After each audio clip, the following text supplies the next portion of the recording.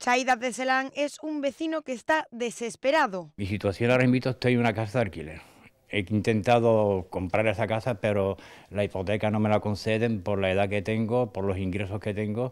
Mi mujer ahora está parada, estuvo trabajando también conmigo en la misma empresa, pero está parada ahora mismo y por temas de ingresos y temas no me considero la hipoteca.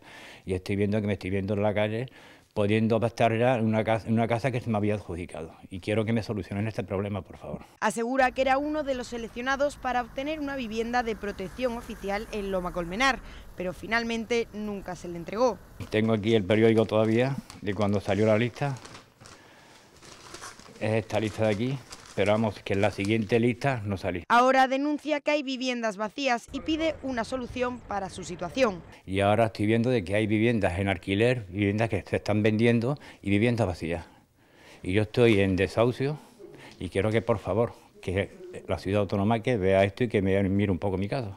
Chaid afirma cumplir con todas las condiciones para poder adquirir una vivienda, aunque no confía en que finalmente se le adjudique. De cumplir las condiciones, eh, no vamos, si las formas de pago, los que tenga que pagar, digamos, eh, soy padre de familia con dos niños menores y, y cumplía, cumplía con las condiciones totalmente porque ellos han estudiado mi caso y han visto de que estoy, soy la persona que me tenían que haber adjudicado una vivienda. Por eso pide una solución urgentemente antes de que él y su familia sean desahuciados de su actual casa para poder seguir viviendo bajo un techo.